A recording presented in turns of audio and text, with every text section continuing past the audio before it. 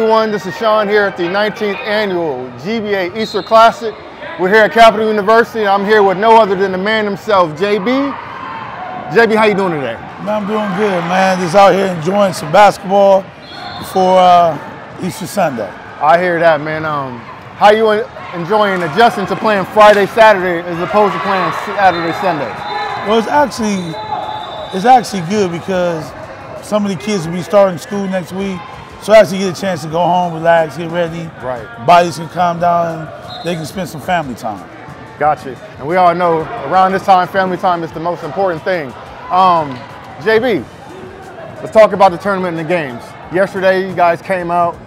Um, y'all win your first game? Yeah. Y'all came out to a good win. Um, out here today, halftime, made some adjustments. Um, what has been your message coming to the team coming into this tournament, particularly? You know, when you are um, in that case, when you're starting off first tournament, the key is just playing hard and re- making sure the kids relax.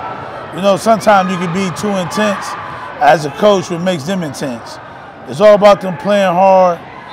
And what's good about here is that you can go up and down the sidelines, so you almost can help and structure them and give them structure on what they need to do to help them. So early tournament like this is very beneficial.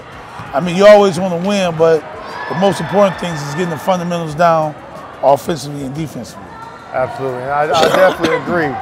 Coach, without saying, it's March Madness time. I thought I had the um, sports almanac when it came to picking games. JB got that almanac. Yesterday, him and our very own Tommy had predicted the uh, Duke upset and it happened. JB got a couple upset picks today. Y'all might want to listen to this guy. JB, tell me about your picks. I'm telling you right now, University of Illinois will beat UConn men today, and also Colorado will end Caitlin's career tonight. Y'all heard it here first. 19th annual GBA Easter Classic. The prediction has been made. The games are out here being played. Let's get to it. We'll see y'all soon. We're going to find out soon enough if his prediction is about to be right. Again, G- GBA, Sean, this is JB. Take care.